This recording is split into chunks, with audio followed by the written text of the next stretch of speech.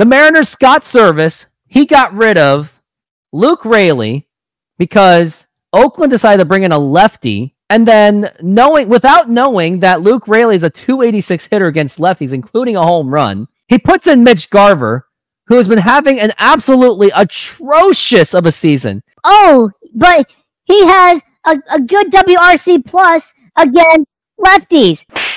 17 career high home runs in 2019 with the Washington National. Here's the 0-1. And now here's a ground ball going to be a double play ball. Throw to second and throw to first. And that is in time for the double play. And the ball game is over. The Mariners will go down and lose game two of this three game set against the Oakland A's. Mason Miller just barely got out of it. Not really. And must I say how frustrating that really was to watch because like mistakes that really made no sense at all was like the let's let's go over the game, shall we? So what happened was Mariners lost two to one.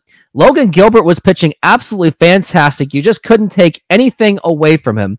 You really just couldn't because I mean, he was pitching extremely well and you couldn't ask anything more out of him. Yes, he gave up that home run. Yes, he had that wild throw that caused the second run for Daz Cameron to score, Mike Cameron's son, by the way. And but here's the things that really got me in this game that really bothered me, other than the fact that the Mariners just played like absolute butt on offense in the first seven innings, of course. And then JP Crawford did break that perfect game. Mariners, of course, didn't score. So what really bothered me the most was in the top of the it was the top of the seventh inning. Mariners actually had an opportunity, like they actually had runners in scoring position. And then what happens? Like, what absolutely happens? The Mariners Scott Servais, he got rid of Luke Raley because Oakland decided to bring in a lefty and then knowing without knowing that Luke Raley is a 286 hitter against lefties, including a home run, he puts in Mitch Garver, who has been having an absolutely atrocious of a season. And for me to say is atrocious is an absolute understatement. Oh, but he has a, a good WRC plus against lefties. I don't care. That's not the analytics to look at. What about the fact that Luke Raley's batting 286 and he's doing a lot better in this past month than he did in April. But granted, April he didn't really use him at all. But I don't get it.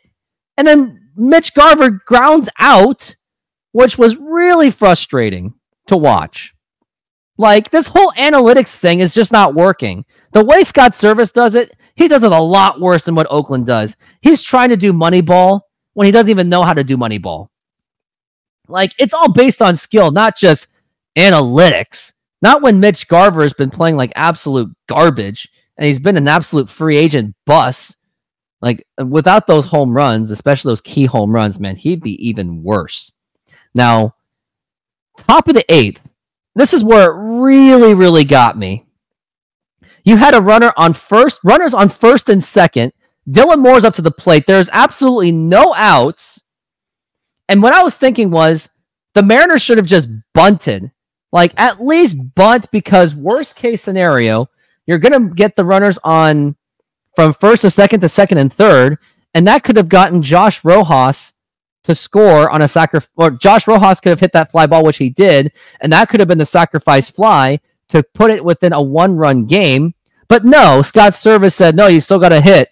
Dylan Moore strikes out. Josh Rojas hits it into a place where no, like no. Dylan Moore strikes out. J.P. Crawford then puts in a position where you couldn't even move the runners either. And then Josh Rojas got out. Like this was absolutely frustrating. And then you saw Julio Rodriguez hit that home run, fine. But had the Mariners just bunt, just put the bat down and just let Dylan Moore bunt, or if maybe if Dylan Moore asserts himself and do, does it, maybe this would be a tie game. This game would still be going on. So, in my opinion, like yeah, you can blame the offense for being absolute complete but but my issue is you should have bunted. My issue is like they're afraid of the bunting because they, they're not willing to play that small ball. They want to play that nice little nice home run kind of ball. And had the Mariners bunt, maybe this game would still be tied, still be going on, maybe a chance for a sweep. But now you have to play for survival to win the series so you don't go into Kansas City where you might actually lose that series. But those are my two takes on what this game was. Other than the fact that Oakland was pitching a perfect game, Scott Servais puts in Mitch Garver over Luke Raley when Luke Raley's already hitting decent against lefties. And then ref- the refusal to bunt in the top of the eighth inning. Those are what's cost the game. It's those little decisions that no one really pays attention to is they don't pay attention to these little decisions, which has been very costly. And that's why I think Scott Servais is just not a good manager. And thank you for dealing with my rant on Mariners manager Scott Servais But if that was too much for you, here are some Mariners nostalgic videos. Or if you do like to deal with it, here's another video of me criticizing Scott Servais.